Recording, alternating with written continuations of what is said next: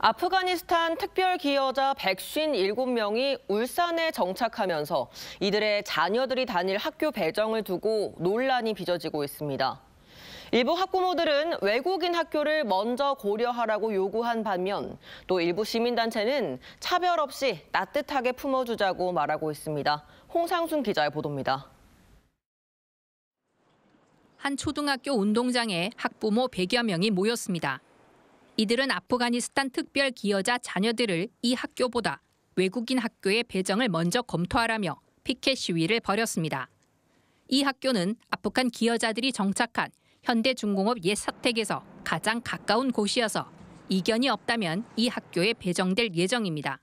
사전 협의 없이 지금 들어오신다는 부분에 대해서 제일 당황스럽고 교육청이나 이제 동구청 이런 기관들에서 좀 저희들이랑 좀 소통을 하고 귀 기울여서 저희 의견을 좀 많이 반영해 주셨으면 반면 울산시청 앞에서는 신세계 시민사회단체가 아프가니스탄 난민 보호와 울산 정착을 지지하는 집회를 가졌습니다.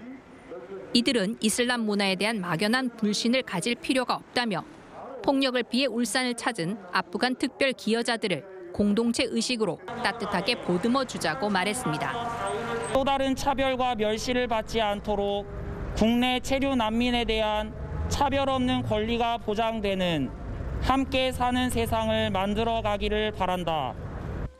울산시 교육청은 교육기본법에 명시된 교육의 기회 균등을 들어 아프간 자녀들이 공교육을 받을 권리가 있다고 밝혔습니다. 아프가니스탄 특별교자 학생이 출신과 국적에 상관없이 동등한 학습권을 보장받도록 적극적인 대책을 강구하고 있습니다. 다음 주 울산시 교육청은 아프간 기여자들과 면담을 가질 예정입니다. 울산시 교육청은 아프가니스탄 학부모와 동구 지역 학부모들의 의견을 수렴한 뒤 접점을 찾아가겠다고 밝혔습니다. MBC 뉴스 홍상순입니다.